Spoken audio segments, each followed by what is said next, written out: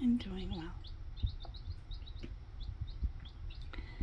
They're eating, excuse me, they're eating some scrambled eggs that have been sitting there since yesterday and they just added some water to it and apparently that made them irresistible.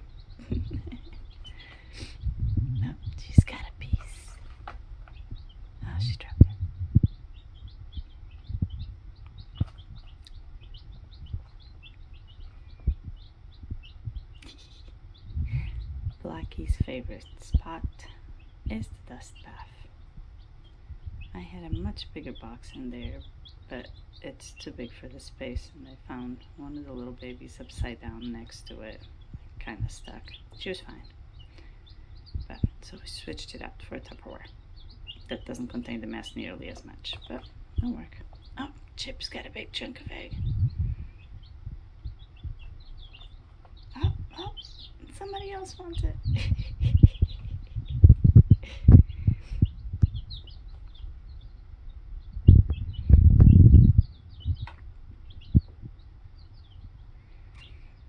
so that's 10 babies.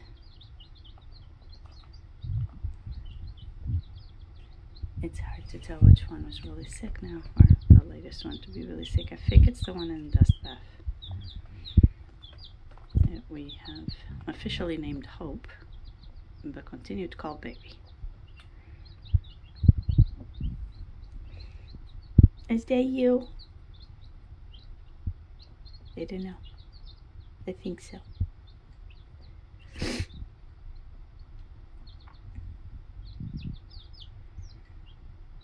And Jessie was looking a little down yesterday, so I gave her some oregano tea, and she seemed to perk right up.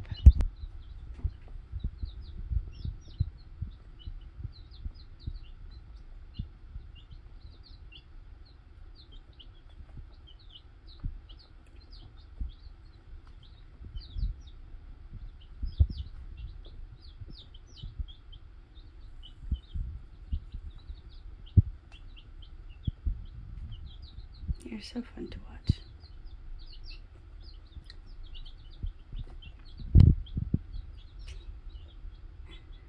I was finally able to get rid of the little lid that had water because they weren't drinking out of this water.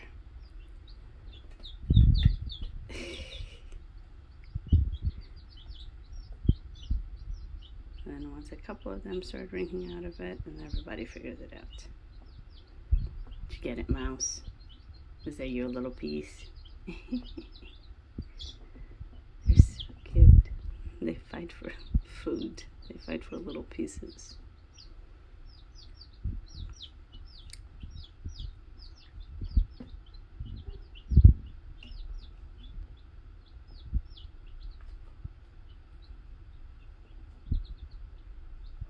Scratch, scratch, scratch.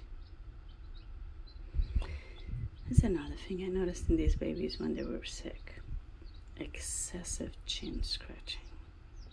And they have not been able to find a single thing online about it. But it wasn't normal. So I don't know if it was pain, if it's whatever bacteria that was causing actual itching. I don't know, Nugget, you don't fit through there. How you do? it's definitely a symptom of something and not normal behavior. They do scratch, like you just saw, but not constantly.